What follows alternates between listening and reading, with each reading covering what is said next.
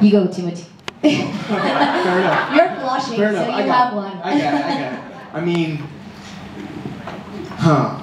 I mean, it's just um, I can't tell the full story. I mean, there was uh, the, the schedule had it so there were a few nights that Austin, Zendaya, Florence, and I were actually together in Budapest. But there was one night they were actually all together. So we all went out to a Japanese restaurant together. We all kind of got to know each other, and um, and I That's can't, it. I, I can't tell. I, I, I can't tell the rest of the story, man. I just think it's gonna get it's gonna get lost. Darnell, do you want to tell the rest of the story?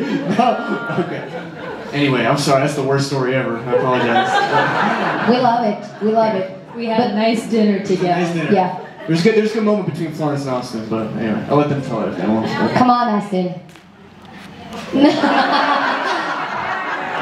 Florence has a great story. No, no, I can't. I'll get chucked off the stage.